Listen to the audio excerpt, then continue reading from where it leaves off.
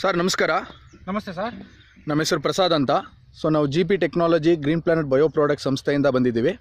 Sir ನಿಮ್ಮ ಹೆಸರು? ನನ್ನ ಹೆಸರು ಸೋಮಶೇಖರ್. ಸೋಮಶೇಖರ್ ಅಂತ. ಸರ್ ಯಾವ ಊರು ಸರ್ ಇದು?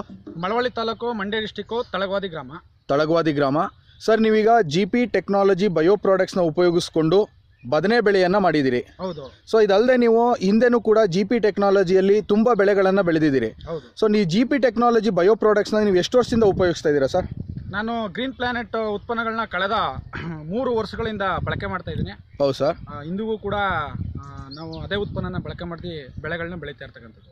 ಓಕೆ ಸರ್ ಅಲ್ಲಿ ಅಲ್ಲಿಂದನೂ ನೀವು ಮೂರು ವರ್ಷದಿಂದನೂ ಕೂಡ G P technology green planet ಸಂಸ್ಥೆಗಳ ಉಪ ಉತ್ಪನ್ನಗಳನ್ನು ಉಪಯೋಗಿಸಿ ಬೆಳೆ ಬೆಳೆದಿದ್ದೀರಿ. ಸರ್ ಇವಾಗ ನೀವು ಬೆಳೆದಿರ್ತಕ್ಕಂಥ ಬೆಳೆ ಬದನೆ ಬೆಳೆ ಬೆಳೆದಿದ್ದೀರಿ. ಹೌದು. ಸೊ ನೀವೀಗ ಇದುವರೆಗೂ ಈಗ ಕಾಯಿಗಳೆಲ್ಲ ಕಟಿಂಗ್ ಆಗಿ ಹೋಗ್ತಾ ಇದೆ. ಇದುವರೆಗೂ ಜಿ ಪಿ ಟೆಕ್ನಾಲಜಿ ಬಯೋ ಪ್ರಾಡಕ್ಟ್ಸ್ನ ಎಷ್ಟೆಲ್ಲ ಉಪಯೋಗಿಸಿದ್ದೀರಾ ಸರ್? ಅದರ ಅನುಭವ ಏನು? ಅದು ಯಾವ ರೀತಿ ಬೆಳವಣಿಗೆ ನಿಮಗೆ ಸಿಕ್ಕಿದೆ? ನಾನು ಅದ್ರ ಬಗ್ಗೆ ಒಂಚೂರು ಮಾಹಿತಿ ಕೊಡಿ ಸರ್. ಈ ಗ್ರೀನ್ ಪ್ಲಾನೆಟ್ ಉತ್ಪನ್ನನ ಮೊದಲು ಭೂಮಿ ಪವರಿಂದ ಶುರು ಮಾಡಿ. ಪ್ರೀಮಿಯಮ್ಮು ಗ್ರೋ ನೈಟ್ರೇಕಿಂಗ್ ಇವನ್ನೆಲ್ಲ ಹಂತ ಹಂತವಾಗಿ ಸರಿಯಾದ ಟೈಮ್ಗೆ ಬಳಕೆ ಮಾಡಿದ್ದೀನಿ. ಸ್ಟ್ರೆಸ್ ಔಟ್ ಅಂತಕ್ಕಂಥ ಉತ್ಪನ್ನನ ಮಧ್ಯೆ ಮಧ್ಯೆ ಅದನ್ನು ಬಳಕೆ ಮಾಡ್ತಾ ಇರ್ತೀನಿ.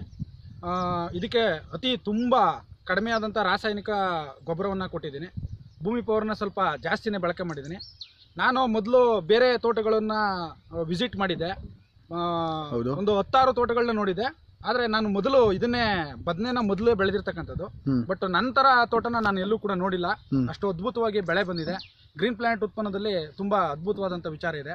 ಹುಳಕಾಟ ಮತ್ತು ಕೀಟ ಬಾಧೆಗಳಿಗೆ ಬೇವಿನೆಣ್ಣೆ ಮತ್ತು ಪೆಸ್ಟೈಟನ್ನು ಕ್ರಮವಾಗಿ ವಾರ ವಾರ ಸ್ಪ್ರೇ ಮಾಡ್ತಾ ಇರ್ತೀನಿ.